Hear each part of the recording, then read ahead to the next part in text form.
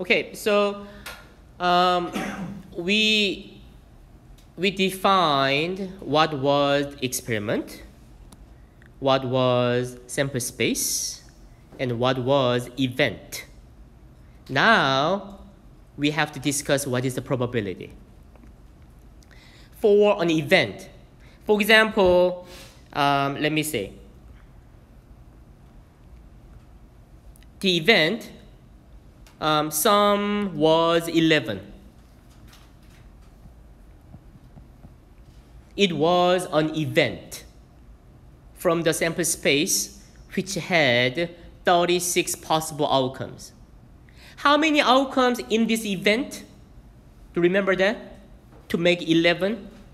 5 and 6, 6 and 5. Two outcomes out of 36 is actually it is the probability.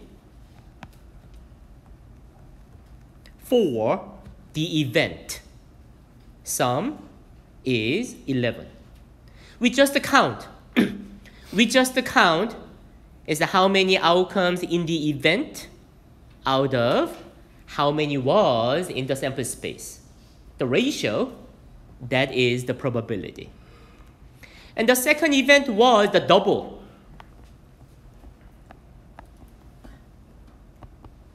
How many outcomes in the double in the event? 1 and 1, 2 and 2, 3, 4, 5, and 6. 6. 6 outcomes out of the same sample space of 36.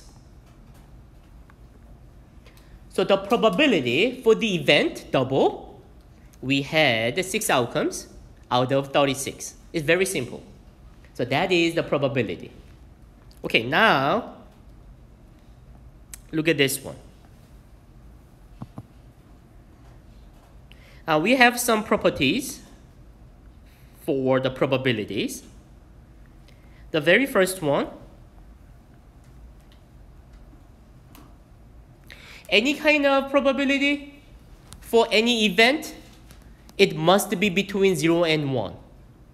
Must be 0 and 1. Never ever negative. It is not as bigger than 1. Be careful. Remember, it is the most important, the property for the probability. The case of 0. You know, sometimes, sometimes we can make a probability zero, now we can say it is an impossible event. How about this? Sum is equal to 1. You know, when we are rolling two dice, uh, in the previous example, can I make sum 1? No.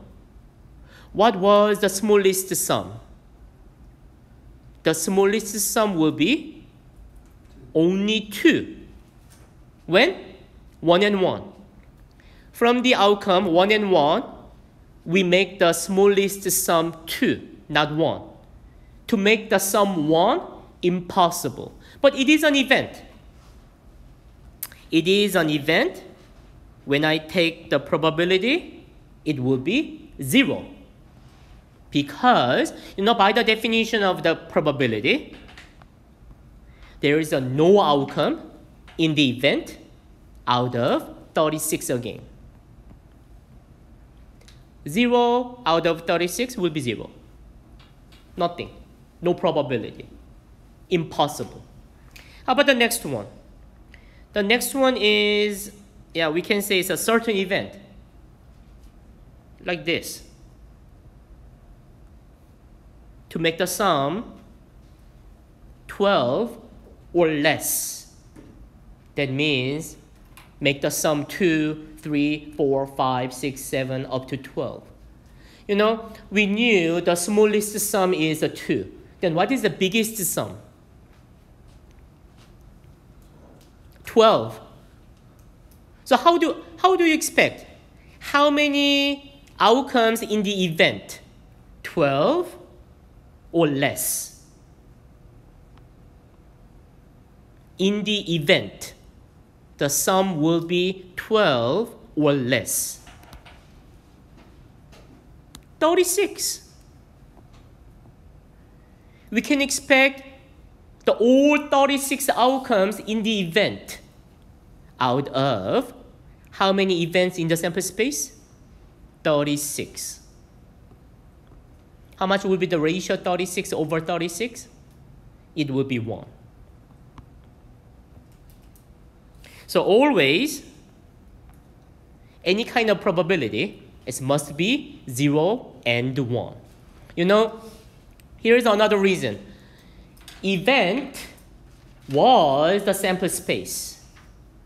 You know, when we take the ratio, when we take the ratio is a number, I'm sorry, numerator and denominator, numerator and denominator to take the probability, which one must be smaller? Which one must be bigger? You know, I told you event was from the sample space. Always the upper one, numerator, must be smaller than the denominator. So, less than 1 any probability must be less than 1. It's up to 1. Why it is a positive? You know, actually, we can take the probability from the counts. How many outcomes in the event? How many was in the sample space? It's a count. Counts, how many outcomes? Cannot be negative. Always 0, 1, 2, 3, 4 positive.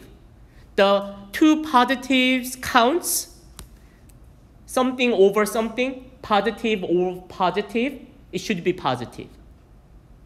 So the probability always is bigger than zero. Okay, so please remember. Please remember the properties. Number one, any probability for any event must be between zero and one. It is the most important.